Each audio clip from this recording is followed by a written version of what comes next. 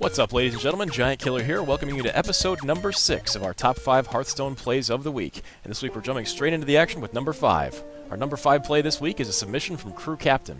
This clip features Shinobi on Warlock up against Jacuzzi Pete on Warrior. This game's been an exciting back and forth matchup that's come right down to the wire on what will be Shinobi's last turn, one way or another. And while some of the plays we feature here on Top 5 take tremendous skill or intimate knowledge of the Hearthstone game mechanics, this one simply required balls of solid rock.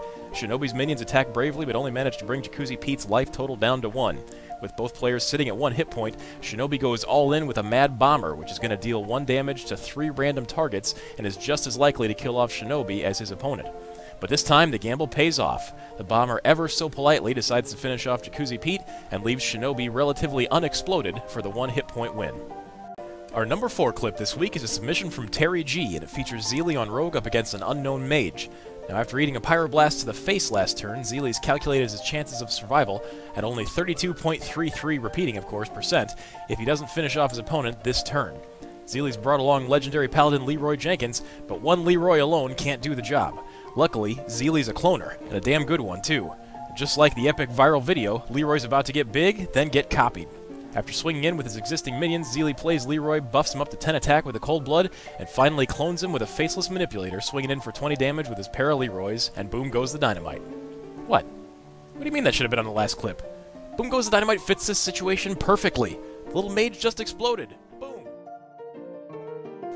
This week's number 3 clip is a submission from A Hydra 447, and it features Miro against Day 9 in an epic one-turn kill warrior deck mirror match. And this one's shot from Day 9's point of view. As the clip begins, we see Day 9 unleashing a brutal combo, buffing, charging, cloning, and swinging in with two infuriated Worgens for 32 points of damage. This leaves Miro facing a massive 51 point life deficit to start his turn.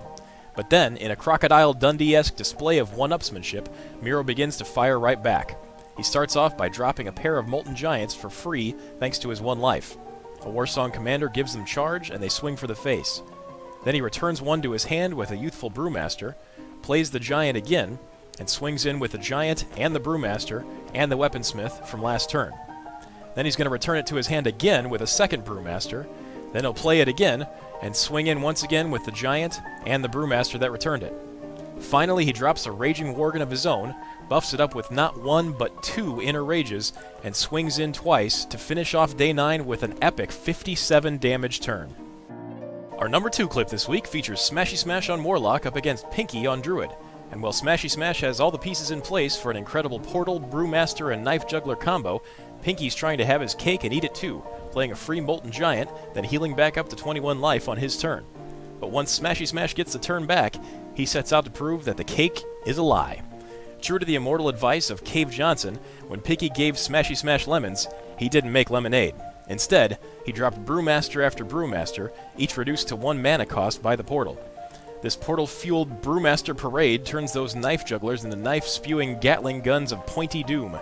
He made Pinky take those lemons right back. He got mad.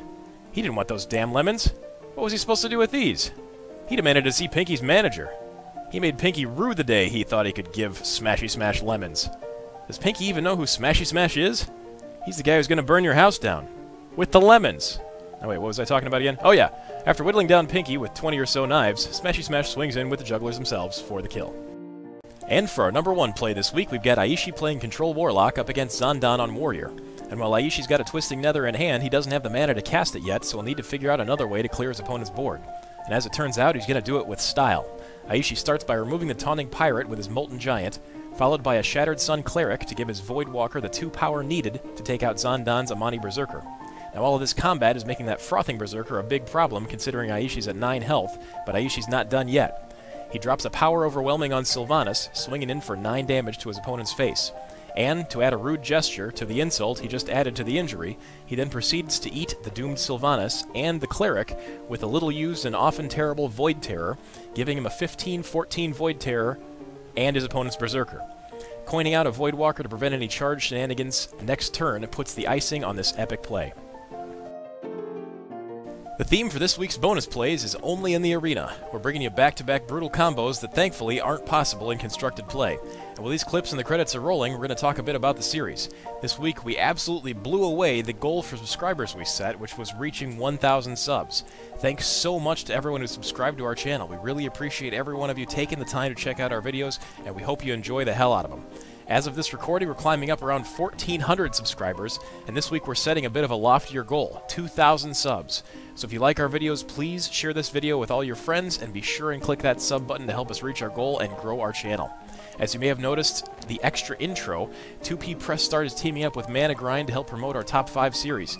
They've got a lot of great people who know a ton about Hearthstone, and we're really grateful for all of their help. In addition to helping me promote the show, it looks like I'll be working with ManaGrind on some more great projects coming up, so please keep an eye out for those.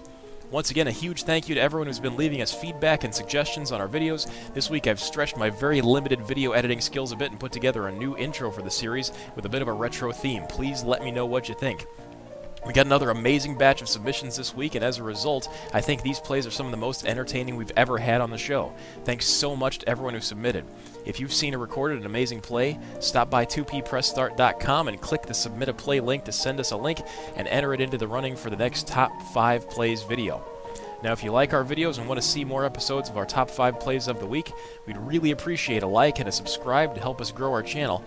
Every click helps, and every single click is appreciated. Thanks so much for watching, everybody.